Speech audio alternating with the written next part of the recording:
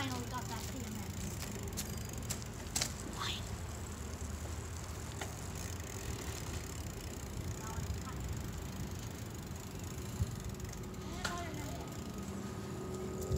Alright, turn that thing off.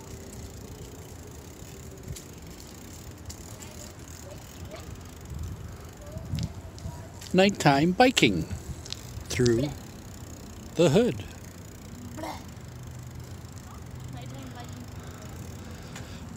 Biking with Misha.